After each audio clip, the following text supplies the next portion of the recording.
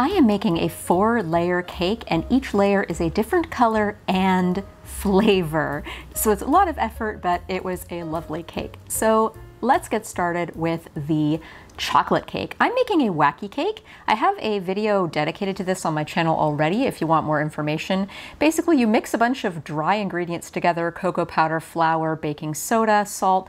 Then you add water, vinegar, there's a little instant coffee in there, and vanilla extract, and oil.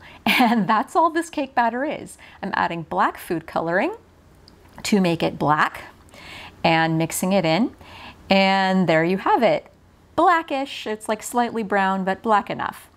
Now I'm making the gray cake. First, I'm toasting some black sesame seeds. If you've never had black sesame dessert before, oh, it is a treat. It's kind of like coffee and peanut butter. I know that sounds weird, but it's delicious.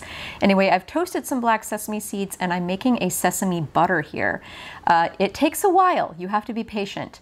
Uh, it'll be sort of gritty and asphalty at first. I know that looks really appetizing, doesn't it? Uh, but you have to just keep processing it and processing it until it turns into a paste. Now I have added a little oil in here uh, to help things come together. And as you can see now, it is a little bit more like a paste. I could have processed this much further than I wound up processing it, but I just got tired of it and I decided that this was good enough, and so I stopped here. now I combine that with egg and sugar. I think that's it. I have a whole recipe up on my Patreon for my uh, $4 patrons, by the way, so they'll know what this is. Anyway, flour, baking powder, and sugar. This is a pretty simple cake batter, actually. I got it from The Joy of Cooking. It's peanut butter cake, except I'm just using black sesame butter instead of peanut butter. I splashed some milk in there to thin things out. And you have this beautiful gray cake batter. I know that looks so appetizing. Uh, it tastes really great though, um, if you like black sesame desserts. And now I have my gray cake and my black cake ready to go in the oven. I'm just baking them at the same time. Uh, I think the black cake wound up taking a little longer than the gray cake because it's wetter, but here they both are done. Now the next day, I took three days to make this. I'm making the purple and white cakes and I'm starting by whipping a bunch of egg whites because both the purple and the white cake need stiff peaked egg whites. There's a little sugar, a little cream of tartar. Now I'm making the white cake. This is just a very, very basic white cake recipe. A lot of wedding cakes are this. Uh, it, it's a great base for other sorts of fillings and toppings. Just creaming some butter and sugar together until they're fluffy and I used the beaters that I used to whip the egg whites. I didn't bother cleaning them. And now I'm sifting in some flour and baking powder and salt. It's a very, very, very basic, simple recipe. And in additions, you're adding in vanilla and milk and folding it in. And you're gonna wind up with a batter that's really more like a cookie dough See how thick that is? But you lighten it up with a bunch of egg whites. This is what's going to give it its lift, but also its whiter color. Like this cake looks pretty yellow right now. Uh, when it bakes, it looks whiter.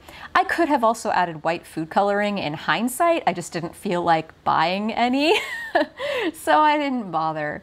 But yeah, if you if you really care about your colors and you want your whiter cake to be really, really super white, uh, you can use white food coloring. This is the batter when it's done. And now I'm just gonna pop that into the oven while I finish making the purple cake. So these are purple sweet potatoes. Uh, I am making an ube cake. These aren't quite the same as a ube that I've used in the past. They're purple sweet potatoes with a purple skin. Um, and some of the flesh in these was more purple than others, so I microwaved them peeled them, took the purplest of them, and uh, processed the flesh until it was somewhat smooth in my little food processor. Getting a lot of work in this video. Anyway, there's my much loved recipe for ube cake. I've got the sweet potato. I also have oil and corn syrup, a very odd ingredient, some egg yolks, a little vanilla and salt, and then there's a little bit of extra sugar in there. I had to add that just because like the ratios with the egg whites that I whipped up for the other cake were different Long story short, I had to add extra sugar. I've got my dry ingredients on standby, just some cake flour, salt, and baking powder. And I got some milk on standby and purple food coloring also on standby. I wanted to make these colors as natural as possible. Like, you know, purple sweet potatoes are purple, but uh, you'll see the batter is not like purple enough. So I'm sifting in my dry ingredients and I made the mistake of getting the sifter stuck in the batter. That's why it didn't go in very well alternate with milk and gently fold in. sift it above the bowl so you don't get it wet this time, pour in more dry ingredients and more milk, and then the purple food coloring makes its appearance. I added it in a little earlier because I didn't want to risk uh, adding it at the end and then over mixing the batter. So adding it at the beginning. The colors honestly are not showing up super well on this camera. Like the purple looks a little less gray in, in IRL. Uh, anyway, I'm folding in the egg whites now. And as I'm folding in the egg whites, I'm realizing, uh, now it's it's not dark enough in color, so I added more food coloring, but I was really afraid at this point that if I tried to add too much more purple food coloring that I would just deflate this batter. So gave it the old tap a tap to release any extra air bubbles before putting it in the oven next to the white cake. And here they are, both baked up.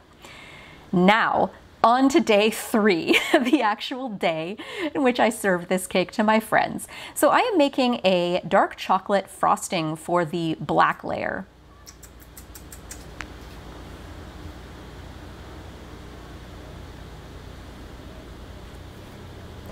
Han,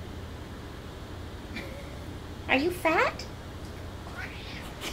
Cats love to help me when I'm in the kitchen. Anyway, I'm melting some bittersweet chocolate chips in a double boiler. And then I'm adding in some cubed cold butter and stirring it in. This is one of my favorite uh, chocolate frostings, incidentally, because it's nice and rich and bitter. Uh, it's not sweet. I'm pouring in some hot water, which may sound strange to you. and it looks weird and it looks like you messed up the frosting, but trust the process. It stirs in and makes this really nice glossy glaze. And uh, I'm adding some creme de cacao here. It's nice to spike it with a little booze like either creme de cacao or um, Kahlua is also good. Bailey's is good. There's a little dash of corn syrup and some vanilla extract. And believe it or not, that's it. That's all this frosting is. But I'm also adding the rest of my black food coloring. I just like squeezed every little last drop into that. It still wasn't quite as black as I would have liked it, but that's pretty dang close. Now I'm making the rest of the frosting for the other three layers. So I'm starting with three sticks of butter, which seems like a lot, but it really actually isn't. You'll see. Um, I'm basically doing a lazy American buttercream, um, adding in the powdered sugar in parts, uh, alternating with some splashes of milk as needed. I'm going to add some vanilla extract, uh, you know, because even the other flavored frostings need the vanilla as a base. So the um, white cake is going to just have this frosting as is. Again, if I really wanted to be authentic with my colors, I could add white food coloring to that portion, but I did not. So I sort I separated some of it out into a smaller bowl and tried to add purple food coloring. I squeezed just the last of my purple food coloring into it and it wasn't quite enough. If I were to make this cake again, uh, I would probably be more mindful of my food coloring and make sure I had enough before I started, but that's what it is. And then for the gray frosting, I was going to use black food coloring, but I ran out of black food coloring making the other black frosting black, and it turned out well because I just added the leftover sesame paste that I had and made this beautiful gray frosting with it. Now I put some frosting on a cardboard round to secure it to my cake thing, and now I'm leveling the cakes, which I can't show you because I don't have a tripod, so just, you know, I did this with all of the layers. I took the top layer off and I saved that for cake pops later. I'm gonna mix that with the leftover frosting. So no food waste. Now, here's the part where I am not a cake decorator. like, I've dabbled, but I'm not that great. So don't uh, yell at me for doing this incorrectly. Well, plus also, this is a very unconventional technique. Usually you do not frost each layer individually and then stack them. Usually you, like, frost the in-between layers of the cakes as you stack them, and then you frost the exterior of the cake all in one go. But I wanted the exterior to be to show all of the different colors of the cake. so that's why I was uh, frosting them individually and separately. Uh, this black sesame frosting was a nightmare to work with. It was so thick and like because of the sesame paste, it was it had a great flavor um, I'm really glad that I used it because it really brought out that black sesame flavor, but oh my god, it was just so hard to, to work with. But I got it on the cake and I tried to level it out as best I could. It doesn't look that bad. Uh, this is the dark chocolate frosting it cools to about this consistency. If you cool it too far, it kind of turns into candy.